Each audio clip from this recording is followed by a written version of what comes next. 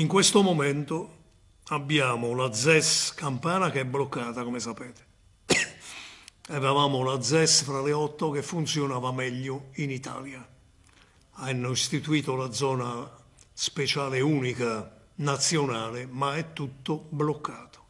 Non si muove una foglia. C'è una notizia più grave che vi devo dare.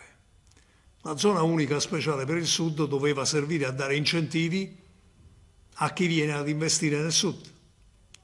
Avantieri è stato approvato, pubblicato un decreto della Presidenza del Consiglio che riguardava il regolamento di funzionalità delle zone logistiche speciali nel centro-nord. Avete capito che cosa hanno fatto? Cioè, oltre le ZE, la ZES unica meridionale, questa però è andata avanti nel centro-nord, hanno pubblicato il regolamento di attuazione delle zone logistiche speciali, cioè sono l'equivalente delle ZES del mezzogiorno che si fanno nelle regioni dove ci sono i porti, ma anche nelle regioni dove hanno aree logistiche collegate con i porti, cioè anche in Lombardia per intenderci.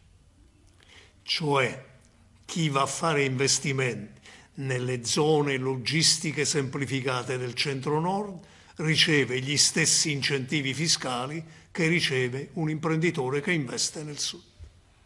E abbiamo completato il ciclo di, come dire, calpestamento e tradimento del sud.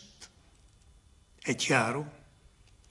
Questa è la situazione attuale. Se aggiungiamo a questo quello che succede con l'autonomia differenziata, il Sud lo possiamo chiudere, lo possiamo chiudere.